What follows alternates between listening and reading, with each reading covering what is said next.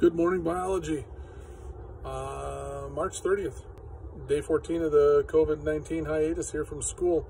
Uh, we're back on track here for a week and then we're off for spring break there. So let's put in a good, uh, good week here.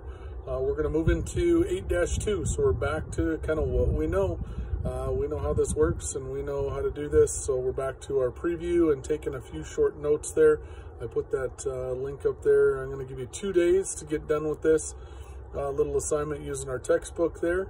And uh, then again, we're going to move on to the next section and then finally, okay, a little assessment this week. So uh, kind of, again, sticking to what we know, what we know works. And uh, I don't think it should be too stressful for you.